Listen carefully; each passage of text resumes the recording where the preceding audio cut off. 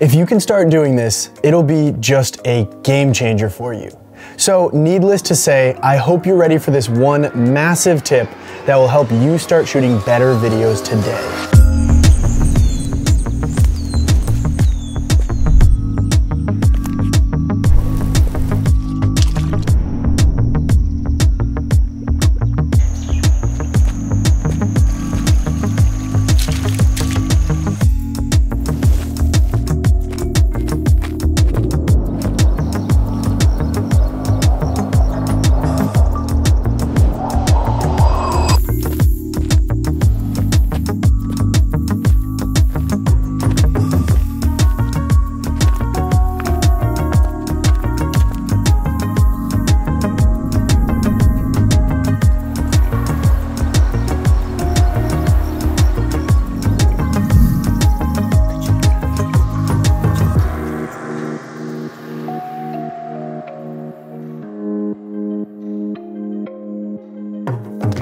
What's up guys, Anthony here from Next Level Creators, and in today's video, we're gonna talk about different ways you can massively improve your video quality. Now, everything I'm gonna talk about today stems 100% from my own personal experience.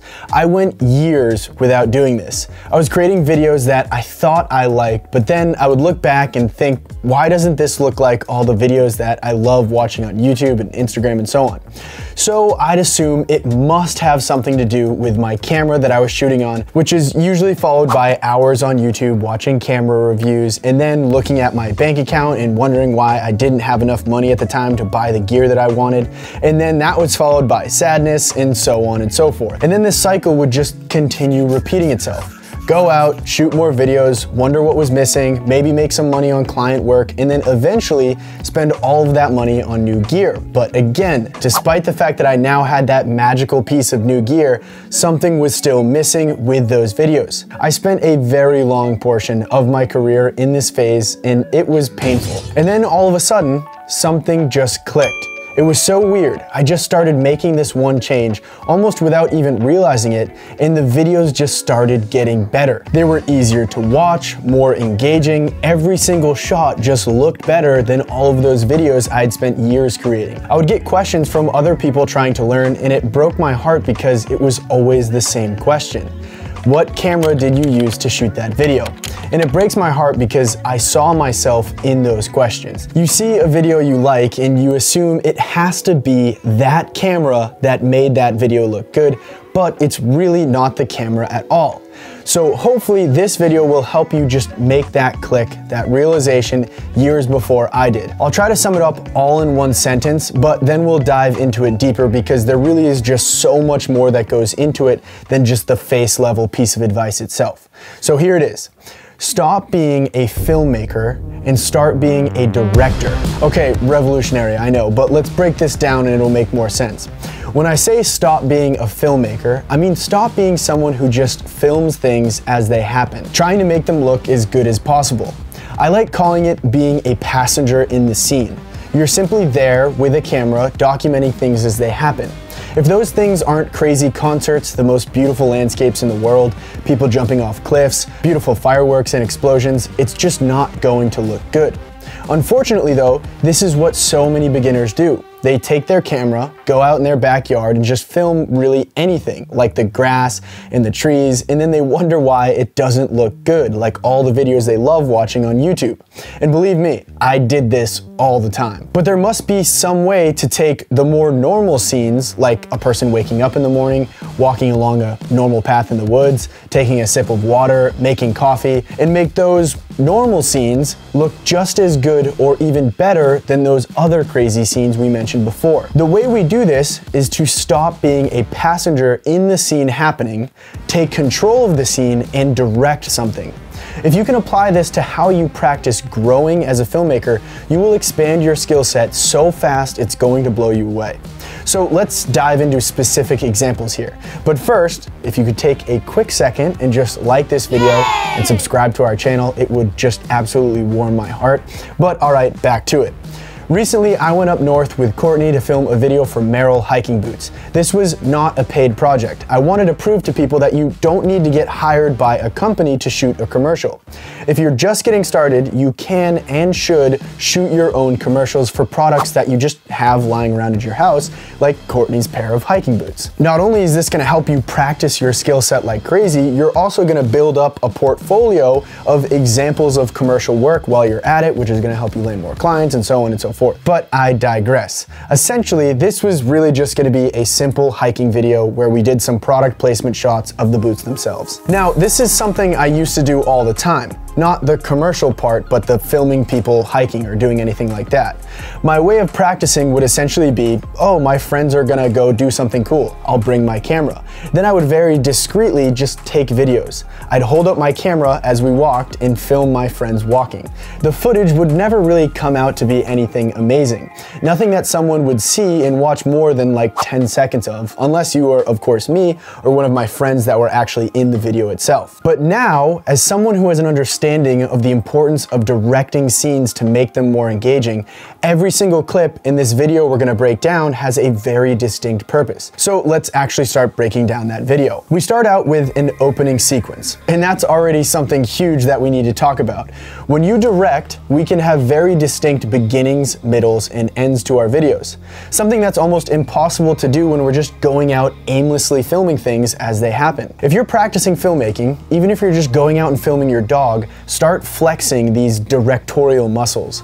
Imagine the sequence in your head before you pick up that camera. What's the beginning gonna look like? Those initial foundational shots that the viewer needs in order to know what's actually gonna happen.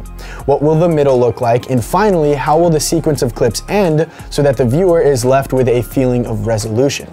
Huge. Don't think just because you aren't filming a feature film, you can get away without having a beginning, middle, and end to your video. So in this particular video, I wanted that feeling of waking up in the morning with this sense of excitement to get out of bed and explore the great outdoors. So we have this alarm sequence, eyeballs opening and almost levitating out of bed, kind of like The Exorcist.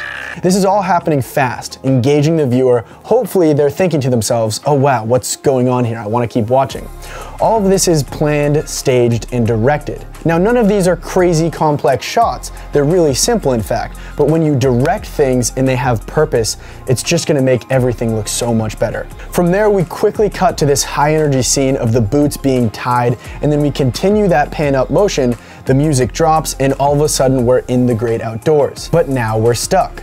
Until we get to the top of that mountain, everything is gonna look the same. It's just walking along a path in the woods. And these paths aren't all that exciting. We're not in Iceland here, we're just on a very small hill, you could call it, in northern New Hampshire. Directing is how we overcome this. Each scene is a very specific action sequence that we plan out quickly and say ready, set, action.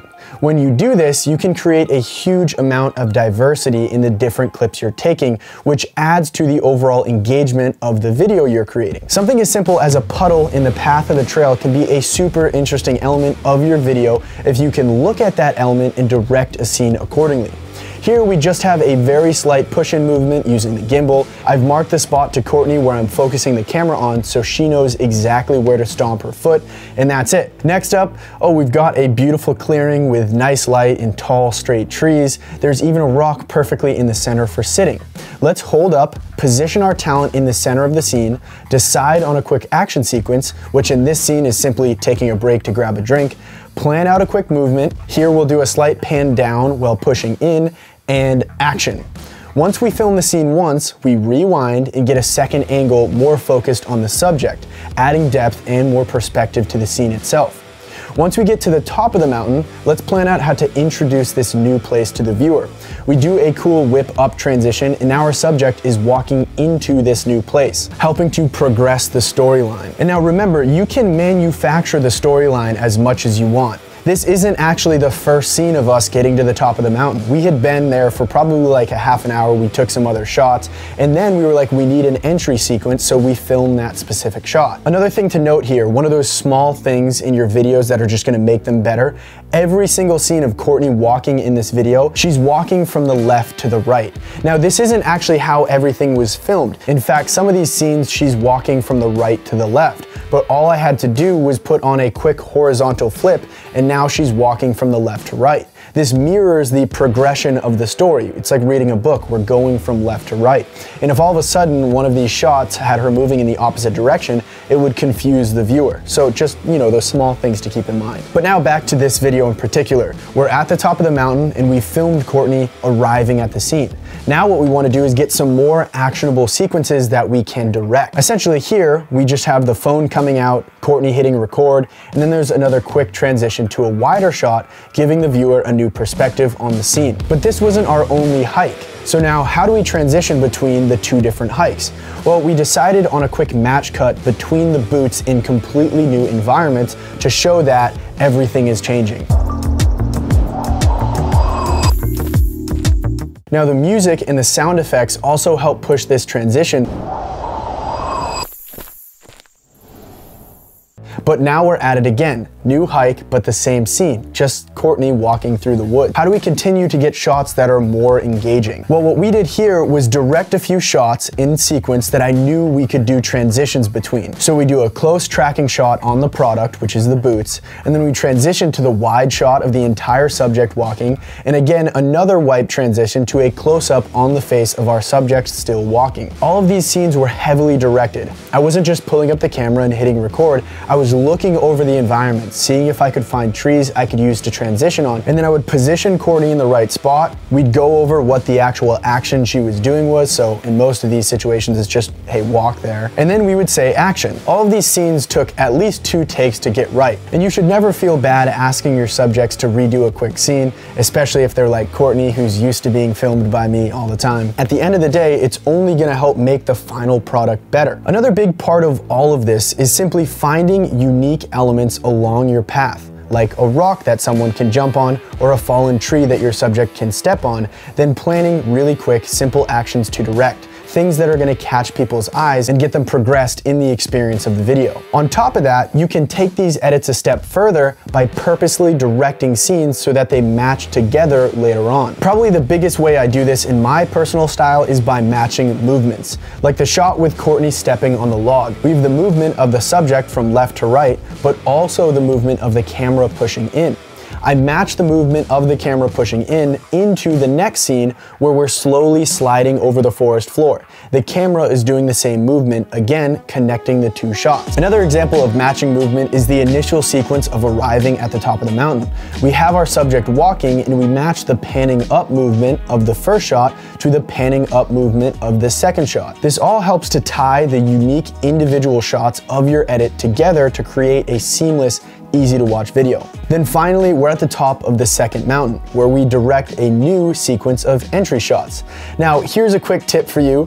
It's gonna feel cheesy sometimes when you direct these scenes. When I told Courtney to jump up on the rock, put your hand up and look out into the distance while smiling, we both laughed because we knew it was cheesy and it would probably look cheesy to the other people at the top of the mountain watching us film. But you have to remember, it doesn't matter what any of those people think. You're doing what makes you happy, which is filming filming videos. And if directing those scenes, however cheesy, is gonna make that final product better, you're gonna enjoy the process and it's just gonna grow and expand. So who gives a crap about what anybody else thinks? Just direct the scenes and power through the discomfort. At the end of the day, once you've done it enough times, you're gonna forget that other people might be watching you film. Now, another quick pro tip, if you ever feel like a certain sequence you're directing is gonna look cheesy, film multiple takes in multiple angles, like here, how we have three different shots all showcasing the same action. The more you have to cut together in the editing room, the better because you can kind of hide those potentially cheesy moments. And then to end this entire video, we have the final moment of relaxation at the top of the mountain. We have a cool little sequence of spreading out the blanket, which as always, we have multiple angles of. And then Courtney sits down where we can showcase one final product shot of the hiking boots. And boom, video done or well, not officially done because we still have to edit the entire thing. But believe it or not, it only took me about two hours to edit this entire commercial. And that right there is another huge benefit of directing instead of just filming. The more you direct, the more you have a clear understanding of what that final video is gonna look like. So that means less guesswork, sifting through tons of footage, choosing between this shot or that shot.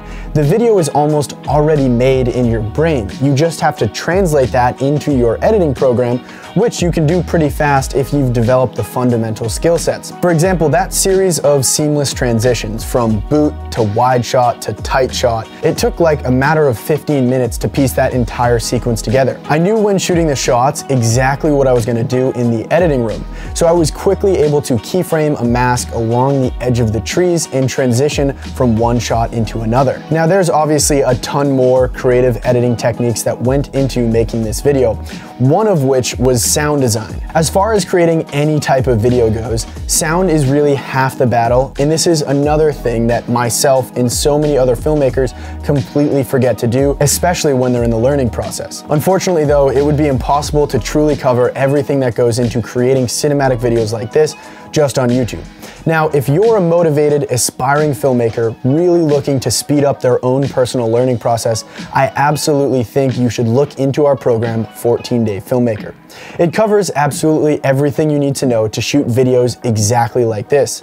From the gear, the shooting process, the editing process, the color grading, the sound design, and so on. It doesn't stop there though. The course covers how to start doing this full time, starting your own business, landing clients, and so on. Now, the program is called 14 Day Filmmaker because it can teach you more in just 14 days than what most people get out of 18 months on YouTube, but it doesn't stop at just 14 days worth of content. We have over a hundred unique video trainings, practice exercises, an amazing private community of filmmakers for you to network and grow with. You even get to jump on weekly live Q&A calls with myself. Not to mention, students in the program get discounts on big name companies like 60% off the Adobe Creative Cloud suite of applications, the list of value goes on and on. And the best part is this is the most affordable filmmaking program of this size on the planet. So there's really no reason not to jump in and join in on all the fun. If you're interested, there's actually a discount link in the description beneath this video. But that does it for this video. Don't forget to follow us on Instagram and all that other stuff. As always, thanks for watching and see you in the next one.